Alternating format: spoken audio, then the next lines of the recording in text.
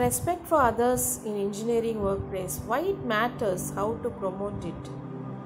So respect plays a fundamental role in your workplace. It's a basic building block to your success. Without respect, you'll be left with a toxic environment where no one trusts each other. Fewer are motivated to go above and beyond their basic job responsibilities.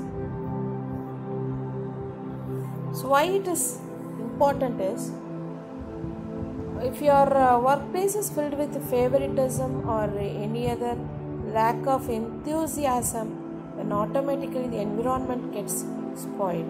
It becomes toxic. So, some uh, uh, unappreciable behaviors uh, exhibits in the working atmosphere. Okay, the disruptive, exclusionary, passive, aggressive method of science will be prevailing over the organization that extends towards the leaders employees. So the environment once it gets toxic leads to disrespect among other employees. So there uh, there will be some groupisms which uh, reduces the productive atmosphere. So Obviously, this prolonged method leads to dissatisfaction with themselves, with, with whatever the job they are doing in their organizations. So, productivity gets reduced. So, in order to increase the productivity, employees should be respected with lots of respect.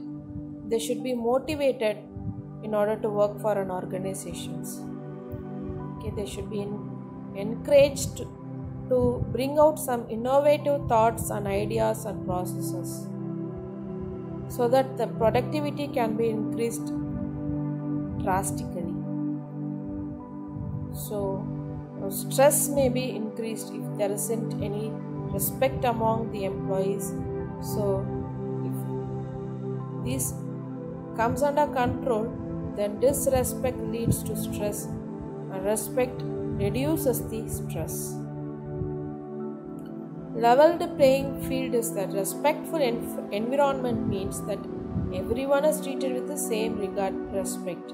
No one is given any partiality in treat, treating anyone. Preferential treatment. No one is given some preferential treatment above the others in an organization. So leveled playing field is most expected one everyone are level to same range grade standard with same respect. Then obviously the production gets increased.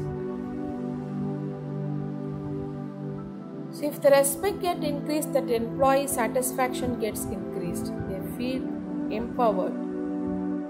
Okay?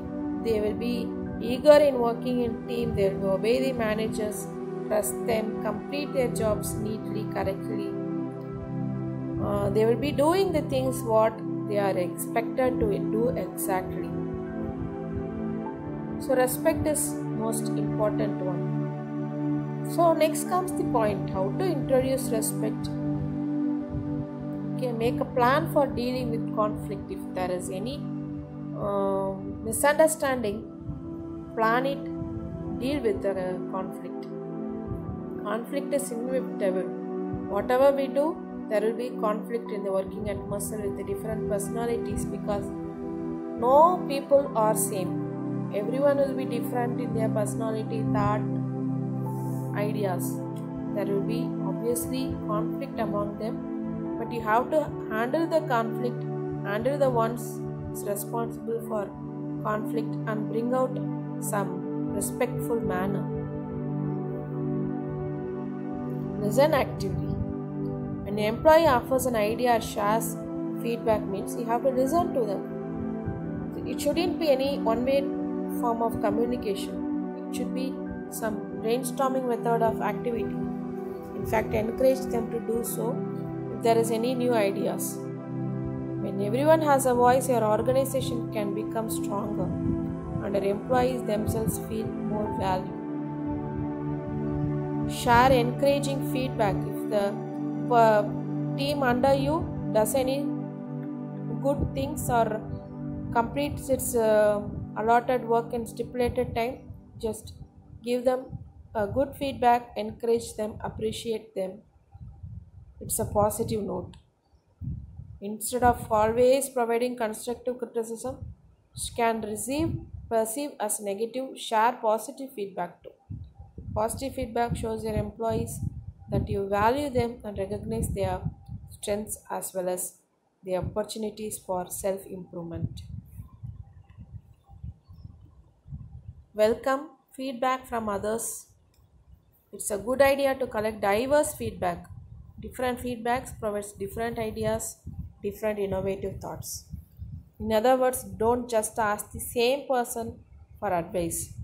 Seek out opinions from multiple people on your team this way no one feels routinely left out of a conversation. Okay? So these are all the things you have to do and work atmosphere. You have respect must be an important factor. Next comes sharing and caring. Caring is feeling for others. It includes respect to feeling of others. So caring is reflected in activities such as friendship membership in social clubs and professional societies and through various transactions in the family fraternity community country and in international councils. Knowing and acting in interest of others is caring. Some people will be thankful for what you did. If someone feels like no one cares about them they may think that they are just worthless so care about the person around you the person work with you the person in your team. Extension of oneself is caring. Devotion and consistency are essential elements. Making others to care about another person is caring. Involves desire motivation inclination. It's a magical experience. It is the heart of the ethics. Caring. Very important one sharing is a process that describes the transfer of knowledge like teaching or learning or information. Experience commodities facilities with others is voluntary. Sharing is charity very valuable word. Sharing is a culture okay so man is by nature selfish. Sharing requires broad mind rational thinking. Helping nature requires a little act of kindness. So try to help poor. Try to share with poor. Try to care for poor. Okay students. So with this we conclude the first unit introduction of professional ethics.